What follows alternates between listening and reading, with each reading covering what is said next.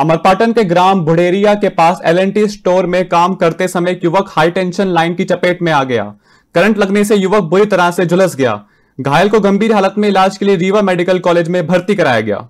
घटना अमरपाटन के देहात थाना अंतर्गत ग्राम बड़ेरुआ की है। यहाँ बाढ़ सागर नलजल पेयजल योजना की पाइपलाइन बिछाने वाली कंपनी एलएनटी का स्टोर बना हुआ है जहाँ पर काम करते समय अभिनय पांडे नामक युवक 11,000 पावर हाई टेंशन बिजली के तार की चपेट में आ गया। करंट लगने से वह बुरी तरह झुलस गया। गंभीर रूप से घायल होने पर उसे इलाज के लिए सिविल अस्पताल अमरपाटन लाया गया जहाँ हालत गंभीर होने पर उसे मेडिकल कॉलेज रीवा रेफर किया गया है। एक युवक घायल अवस्था में कुछ लोगों के द्वारा से अमरपाटन में इलाज के लिए लाया गया। परीक्षण में पाया गया कि उसके हाथ में दाएँ बाएँ हाथ में जले के निशान थे और पैर में काफ़ी चोटें थी और मरीज़ की स्थिति गंभीर थी।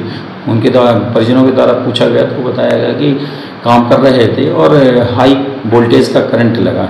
मरीज़ को प्राथमिक इलाज के पश्चात अग्रिम जाँच एवं उपचार के लिए मेडिकल कॉलेज रीवा के लिए रेफर कर दिया।